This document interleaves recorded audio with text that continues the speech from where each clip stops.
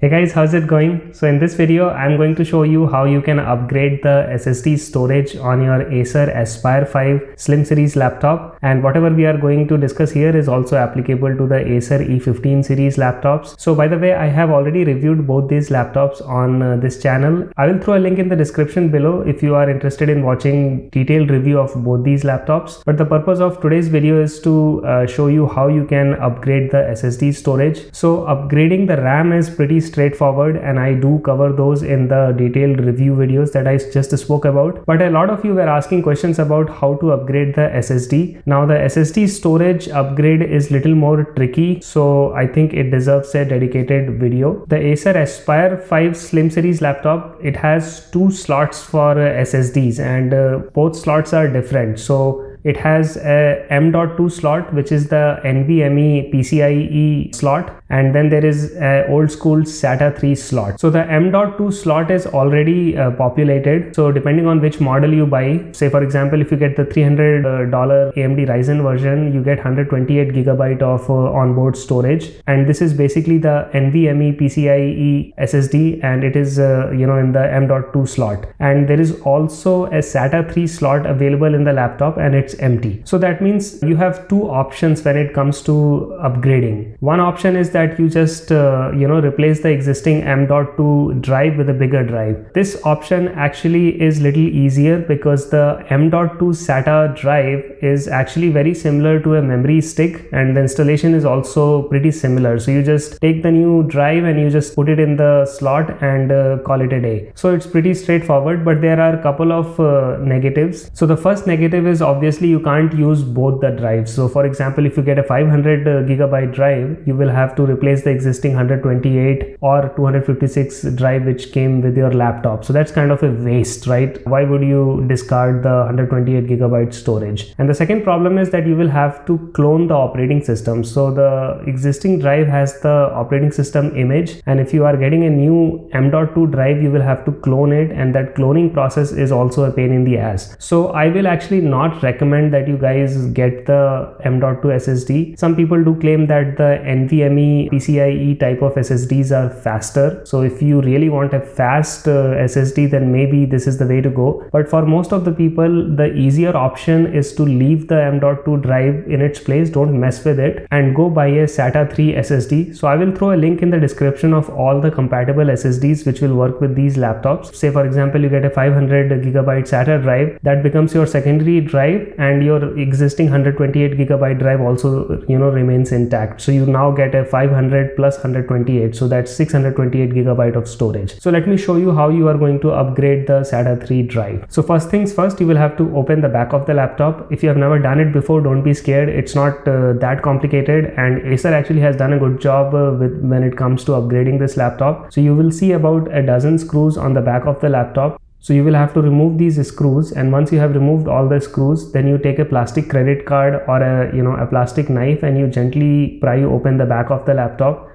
So you can start from one of the edges and you can gently pry open the back. Once you have removed all the latches uh, then the back will come out. After you remove the back you will have access to all the slots so as you can see there is a M.2 slot which is already populated with a 128 gigabyte SSD storage. So let's not mess with this guy we can leave this SSD uh, as it is and we are going to upgrade the SATA drive. So the SATA drive is empty as you can see here there is a slot for the SATA drive and Acer does a very good job it gives you all the things that you will need to install the SATA drive. So one important thing to note is that the Acer laptop comes with some screws in a small pouch and you will need these screws to you know attach your your uh, SSD and so make sure that you have these screws. So as you can see here in the SATA 3 SSD drive area there is a mounting bracket and there are also some cables and connector boards. So what we need to do is there are four screws which are holding the mounting bracket in its place and we need to remove these screws. So remove these screws and uh, put them aside. We will need them later. After you have removed the screw then uh, remove the connector board the mounting bracket and all the cable and you can put them aside. Now the next step is that we need to connect our SSD drive to the connector board. So if you look at the connector board there is a notch and uh, this notch needs to match with the SSD. So make sure that the notch aligns and then you insert the connector board uh, in the SSD Okay, once you are done with that, then we will basically put the SSD on top of the mounting bracket and uh, make sure that your SSD orientation matches with what you see here. There is only one way to actually um, you know put it. So if your orientation is wrong, it's not really going to fit.